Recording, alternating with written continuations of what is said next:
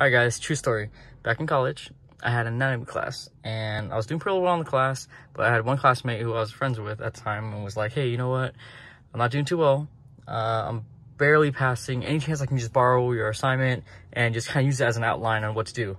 So I figured, being a nice person, I let her borrow it.